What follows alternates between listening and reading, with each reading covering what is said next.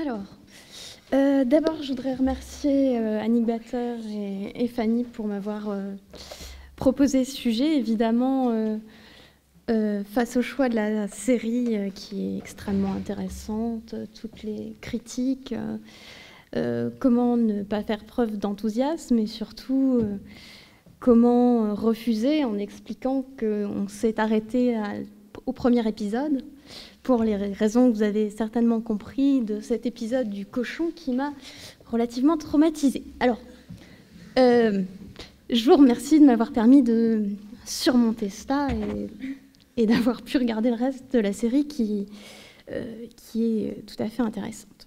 Donc, je me suis intéressée à deux épisodes. Euh, L'épisode, alors je vais le prononcer à la française, hein, parce que j'ai fait allemand deuxième langue, San Junipero de la saison 3 et Be Right Back, ou euh, bientôt de retour de la saison 2.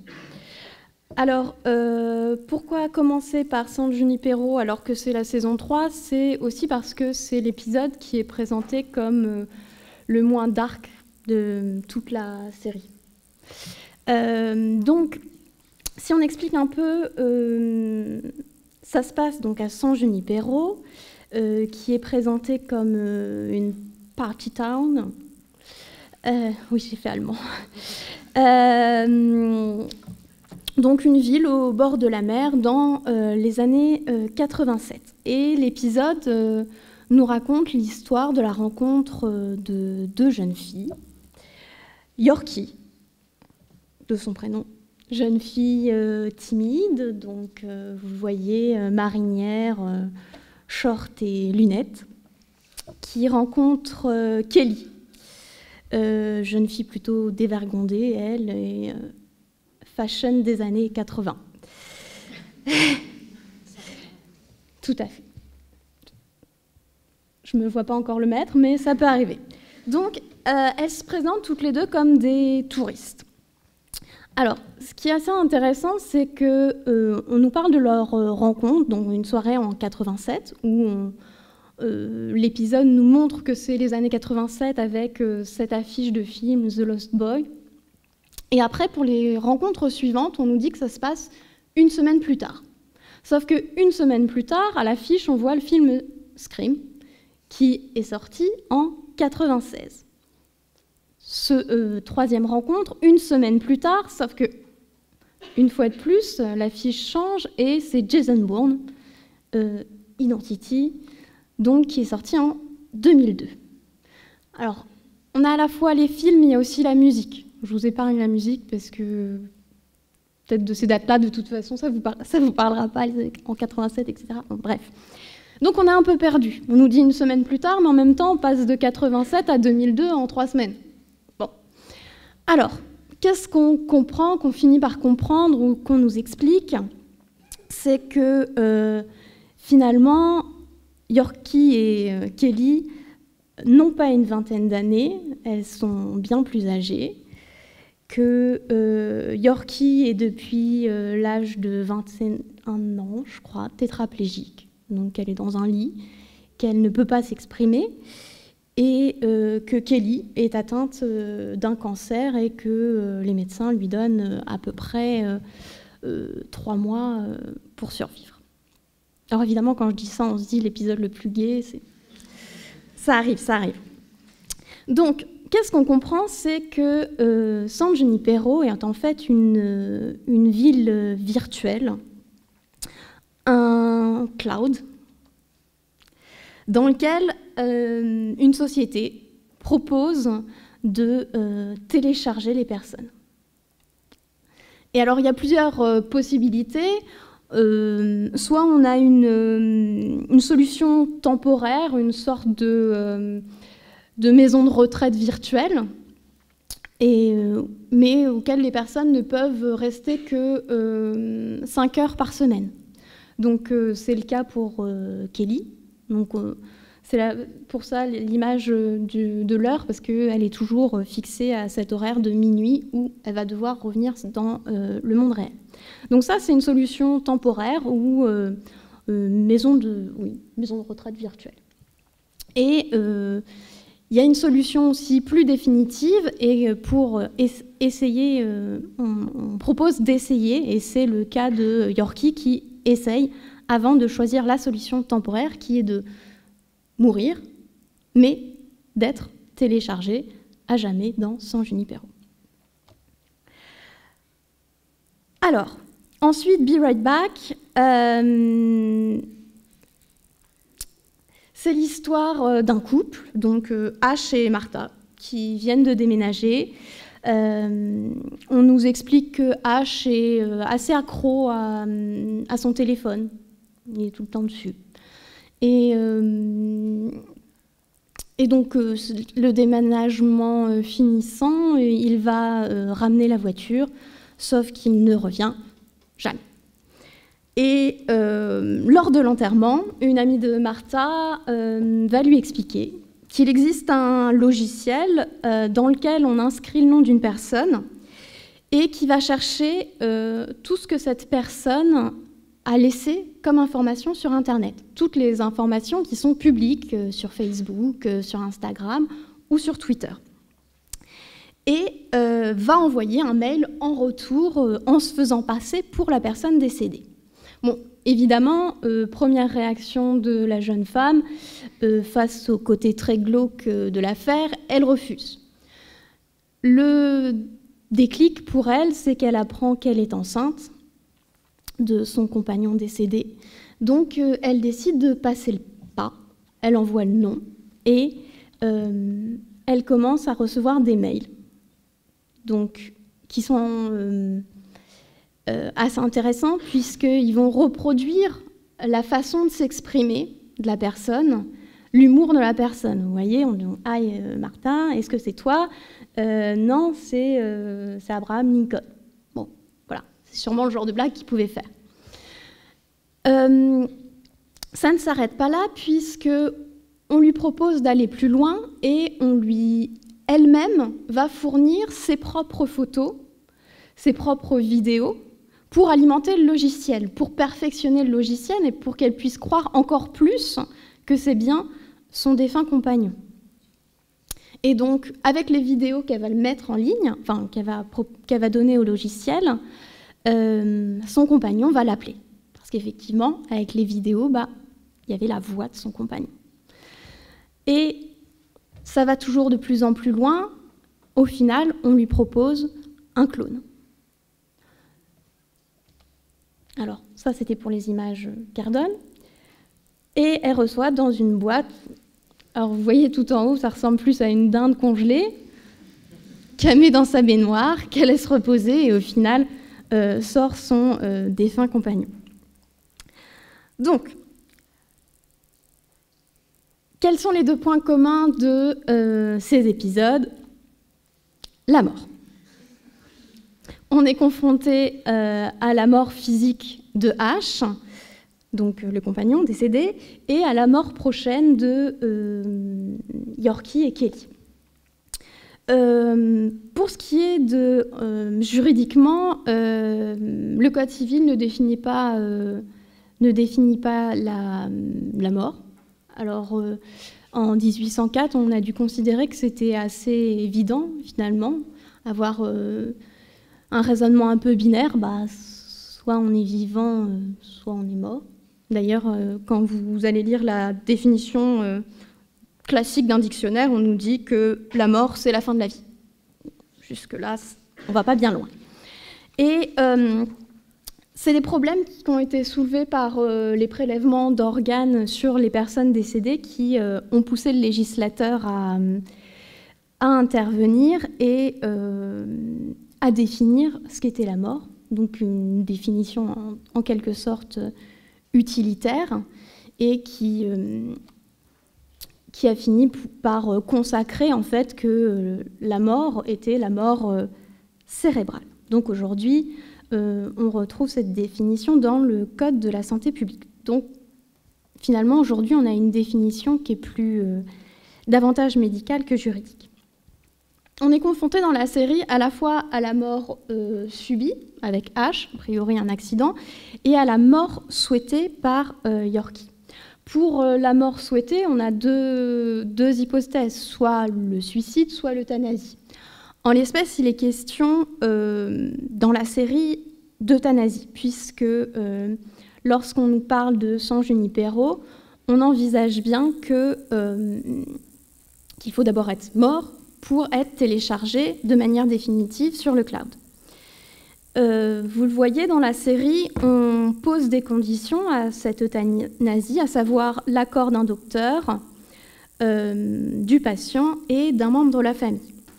On n'a pas de précision ici sur, sur l'accord du médecin.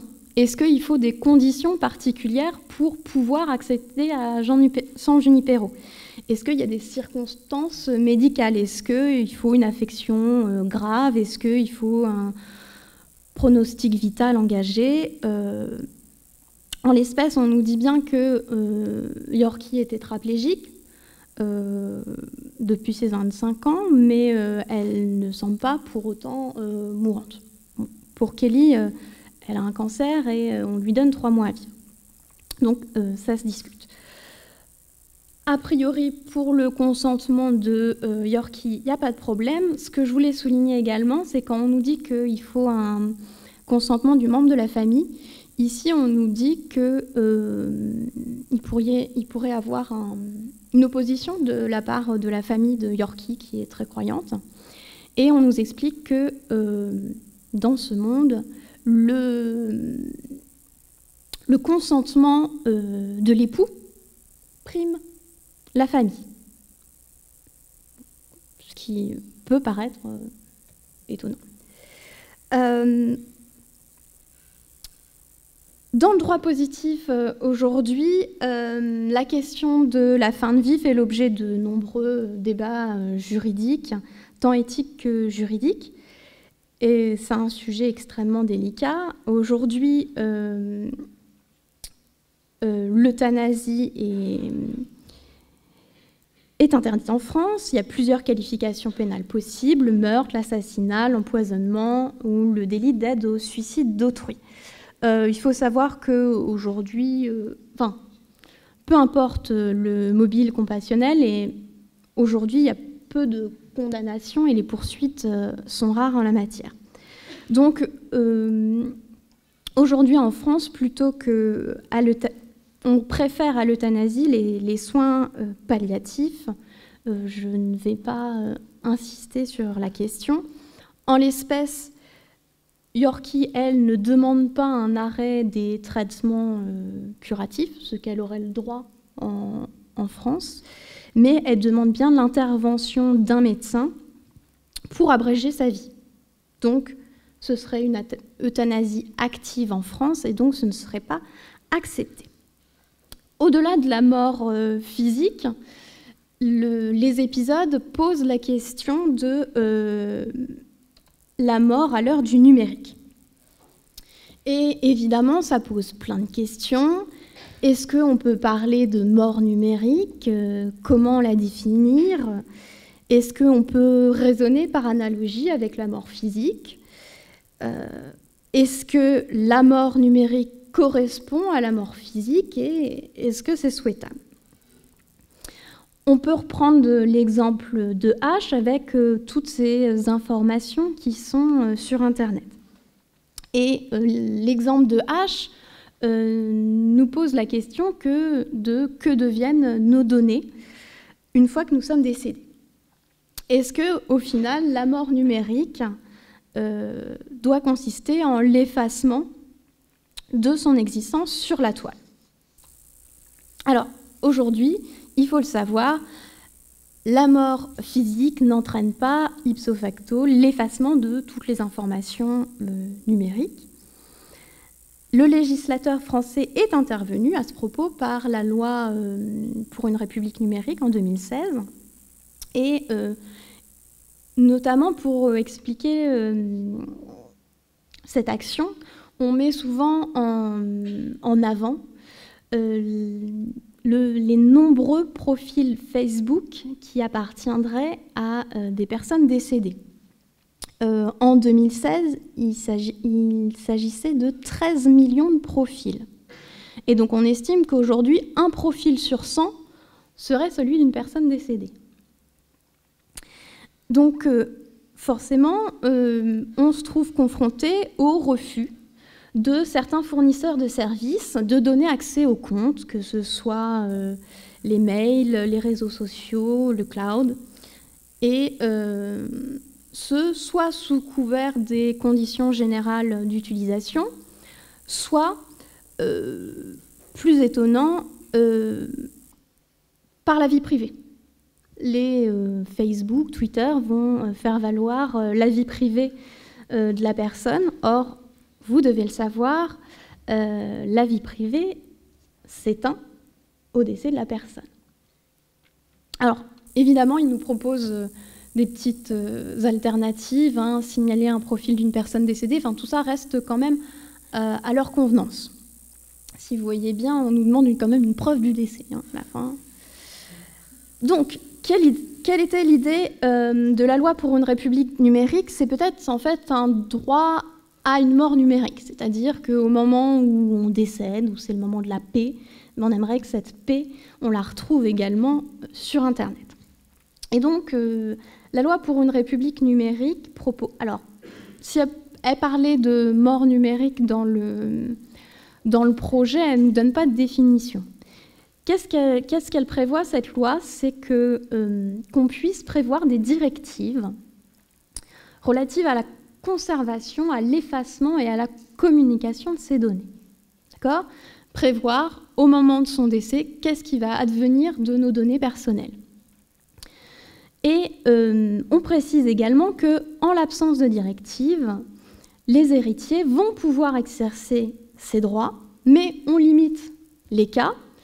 C'est dans la mesure nécessaire à l'organisation ou au règlement de la succession, et dans la mesure nécessaire à la prise en compte euh,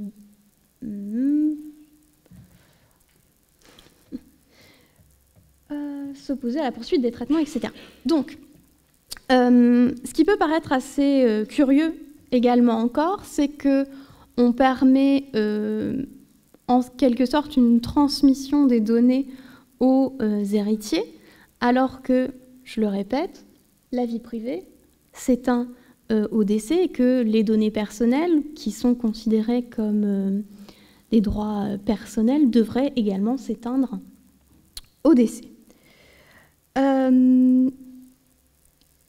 Également, en prévoyant l'opposition, parce qu'on nous dit bien en l'absence de directive ou de mention euh, contraire, on prévoit que le défunt peut s'opposer donc à ce que ce soit ses héritiers qui euh, recueillent les données. Avec cette euh, opposition possible, est-ce qu'on n'est pas face à une, une possibilité d'immortalité numérique? Est-ce que euh, de cette manière, le défunt va pouvoir rester pour toujours sur Internet? Dans ce cas-là, on a une, immortalité numérique qui peut poser problème.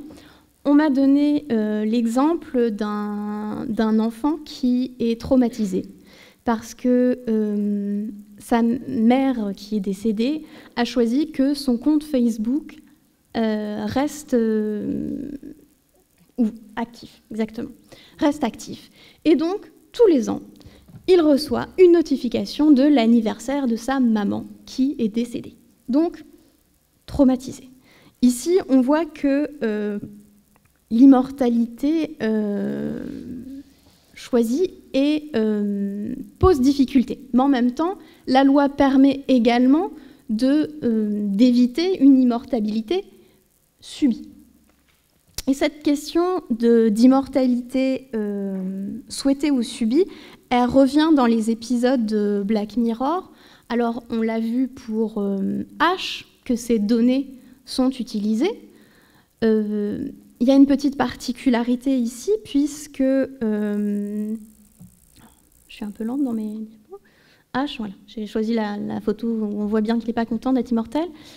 Immortalité, euh, donc ici, euh, subie.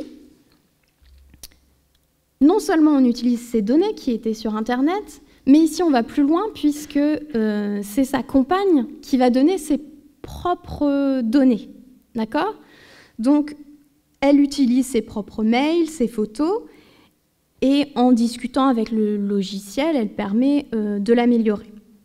Elle utilise donc non seulement des éléments de sa propre vie privée, mais également des éléments de la vie privée d'un tiers.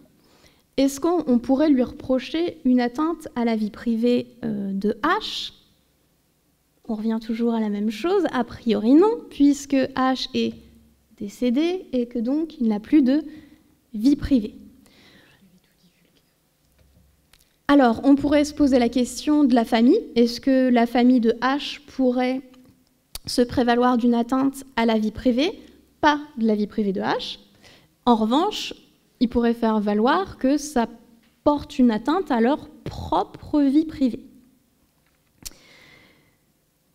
Pour euh, ce même épisode, quid de la création du clone? Alors déjà, on peut dire qu'il n'y a pas d'atteinte au cadavre, donc euh, pas d'atteinte euh, au corps humain. La loi française interdit le clonage, donc on peut se poser la question est-ce qu'ici il s'agit. Euh, est-ce qu'il est question du clonage? Euh, Ici, il n'y a pas d'utilisation du matériel génétique du défunt et il n'est pas non plus question d'une naissance. Donc, il ne serait pas question à proprement parler de clonage, on reviendrait à ce qu'on a déjà vu jusqu'ici, c'est-à-dire une intelligence artificielle. Mais est-ce que les mêmes questions éthiques qu'en matière de clonage ne peuvent pas se poser ici? Est-ce qu'il n'y aurait quand même pas une atteinte à la dignité humaine ou même euh, au respect dû aux morts euh, Ensuite, pour San Junipero, on se pose la question ici pas d'une immortalité euh, subie, mais d'une immortalité souhaitée. En se téléchargeant sur le cloud, Yorkie peut être en quelque sorte survivre. Et Ici, il faut faire une distinction entre l'enveloppe charnelle, qui n'est plus, et euh, l'esprit qui demeure.